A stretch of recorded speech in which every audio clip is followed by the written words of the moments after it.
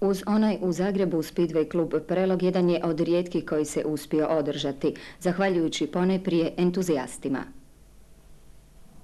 Za obitelj Pavlic iz Goričana, Zvonka, suprugu Mariju te djecu Dariju, Petru i Juricu možemo reći da umjesto krvi njihovim žilama teku oktani. Zvonko Pavlic jedini je vozač iz Međimurja koji je ponio titulu državnog prvaka bivše Jugoslavije i republičkog prvaka Hrvatske u Speedwayu. Ovim se sportom aktivno bavi od 1978. godine, no vrlo uspješnu 11-godišnju karijeru prekida zbog teške ozljede na utrci u Ljubljani, pa se počinje baviti poduzetništvom.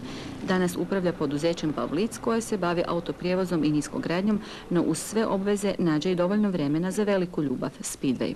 Pa ono, znate, kaj čovjek voli, to nikad nije teško napraviti. Ne? Uvijek se nađe vremena. Onak da po istini rečem, kad čovjek dađe, uh, otiđe odavde od ovih strojeva, onda mu je to nekakva relaksacija kad odete na stadion dole pa se malo s dečkima tam pogovorite, pa ono staru ljubav, kaj sam prije i ja sam bio vozač, opet si malo čovjek obnovi. Ne?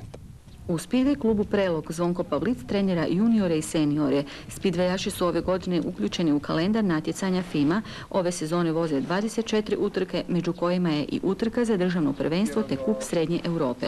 Kakve rezultate očekuju u klubu ove godine?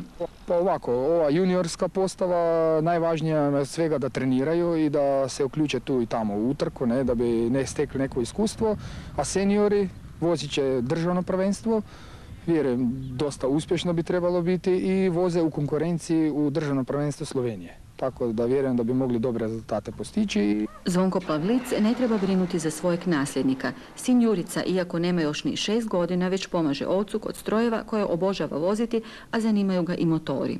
Jurica, možeš mi reći kak dugo već voziš u tovarivač? Dve leta. A koje sve strojeve voziš osim u tovarivača? Toga i one sa. Ko te naučil voziti? Tata i stričak Tomica. I kakav je to osjećaj kad voziš? Dobar. Voliš voziti? Ja.